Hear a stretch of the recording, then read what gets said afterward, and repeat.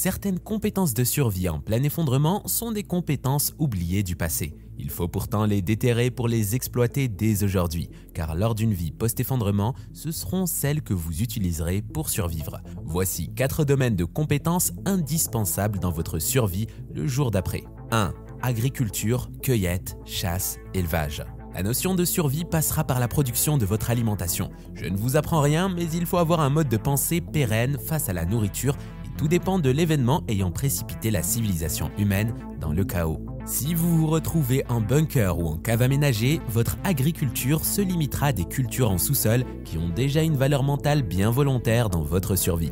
Mais si vous survivez sur la terre ferme, vous développerez tout ce qu'il sera possible de faire pour manger et assurer la subsistance de votre famille. En plus de votre potager et votre jardin optimisé, vous aurez un élevage pour compléter votre alimentation. Les plus végétariens d'entre nous hésiteront sûrement à tuer pour manger, mais la faim repousse souvent nos limites et bouscule nos certitudes. Il est donc intéressant de se former à l'élevage et à l'abattage d'animaux. De même, pour la chasse et le piégeage, vous n'allez pas vous y mettre au dernier moment. Votre survie en dépend. Si vous faites partie des terriens, votre survie dépendra aussi des cueillettes en pleine nature. Pensez à vous former à la reconnaissance des plantes. Cette compétence perdue peut vous sauver la vie si une mauvaise récolte se profile et la forêt de l'hiver en région tempérée possède des trésors à récolter pour peu qu'on connaisse les secrets des végétaux. Il est faux de penser que l'hiver est une période stérile. Les racines de certaines plantes sauvages se déterrent pour assurer une survie alimentaire. 2. Coudre, tricoter, broder.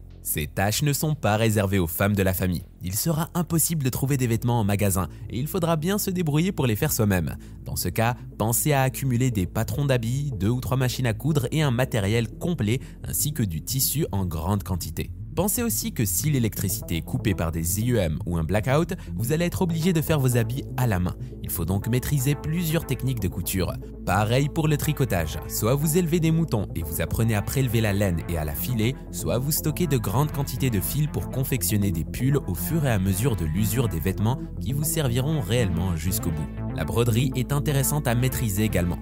On part du principe que vous êtes en base autonome pour un temps extrêmement long et que vous avez une pièce dédiée à ce genre de travaux. Si vous êtes dehors sans solution, c'est plutôt la récupération qui vous habillera. 3. Menuiserie, ferronnerie, construction. Vous serez obligé d'acquérir cette compétence pour pérenniser votre habitat, vos meubles, vos outils. Oubliez l'idée de trouver votre meuble en magasin ou même de demander à votre voisin de vous le faire. Cela vous coûterait tellement en troc qu'il vaut mieux maîtriser les techniques de la menuiserie.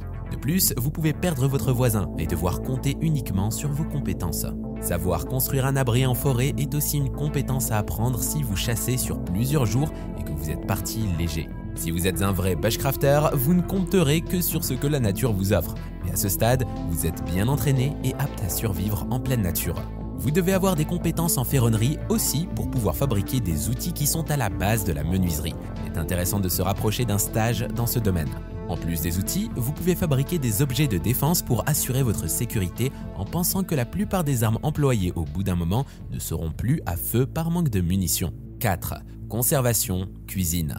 Vos matières premières pour cuisiner seront inexistantes ou insuffisantes pour faire un plat. Aujourd'hui, les recettes élaborées demandent des ingrédients particuliers que vous ne trouvez qu'en magasin et qui seraient fastidieux à fabriquer vous-même. En plein effondrement, pensez simple et entraînez-vous dès aujourd'hui en collectant les astuces sur internet pour remplacer un ingrédient introuvable ou changer une recette pour à peu près le même résultat. Ce genre de compétence peut être particulièrement excitante car vous contournez les obstacles pour réussir à vous nourrir avec la même efficacité. On peut par exemple faire du pain sans farine en utilisant des lentilles. Il s'agit de constituer un recueil de recettes dès aujourd'hui en pensant à l'effondrement de demain. Pensez aux pénuries auxquelles vous ferez face, comme la difficulté à trouver du lait, de la farine ou du sucre.